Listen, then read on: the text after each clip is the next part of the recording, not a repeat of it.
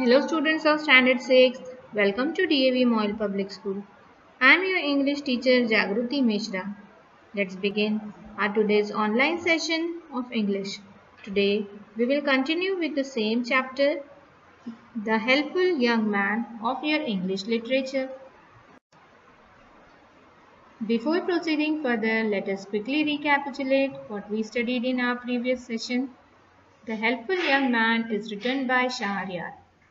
Let us go through what we have learned in our last session.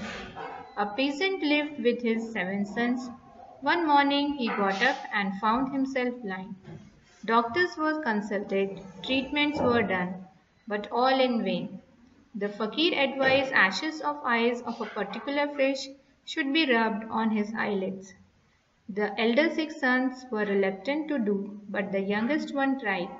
He faced many difficulties and ultimately succeeded. Elder brothers got jealous of him and asked him to leave the house. Now let us continue the story. One day, as the young man was passing through a forest, he noticed a black buck. Buck means a deer male. He came running to him. The small animal stood beside him and spoke in a very trembling voice. Sir, the hunters are after me. Please save me. I will help you whenever you call me.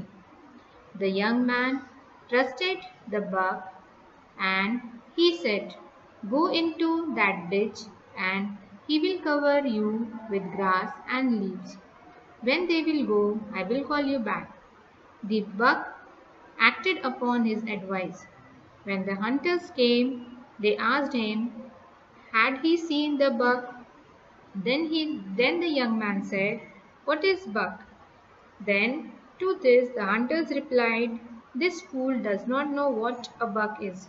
Hurry up, lest we should miss the, miss the opportunity.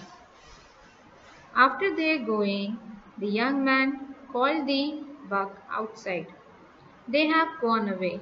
The buck thanked him and promised to help him when he was in distress and the boy continued his journey. After some time he heard a cry.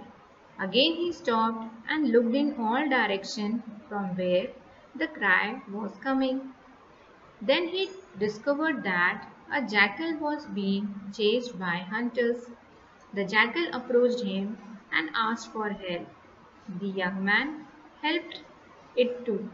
The jackal too promised to help him in his hour of need.